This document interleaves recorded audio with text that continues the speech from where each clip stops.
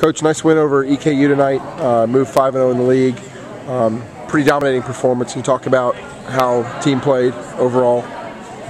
Yeah, I was I was excited about our, our performance tonight. Uh, you know, it's EKU, so it's it's going to be a, a kind of electric environment. We had a great crowd again uh, tonight.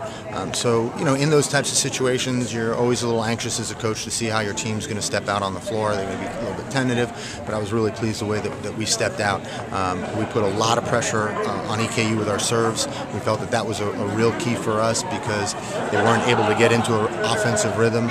And then I was really pleased with the way that we played defense behind our block uh, and really created some great transition opportunities. And then attackers such as Emma Keogh, Ellie Robertson, Caitlin Craven did a fantastic job of capitalizing on those on those uh, transition opportunities.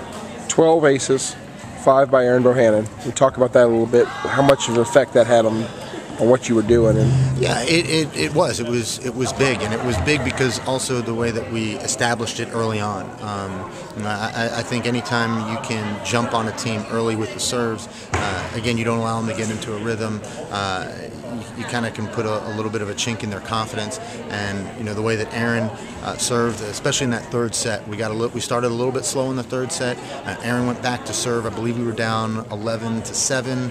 Um, you know, she goes back there. We score five points off of her serves, uh, and that, that just really helped build some some momentum. And I think the rest of the team did a great job of capitalizing on that momentum. Okay, Emma, you uh, one of your better matches of the season, but overall a team.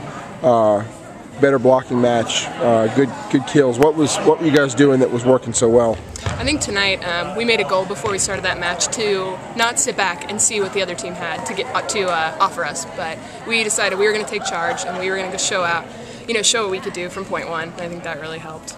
Okay.